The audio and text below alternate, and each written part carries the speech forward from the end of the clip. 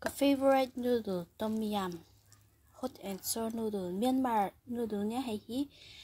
an akora duma pakhat som ni man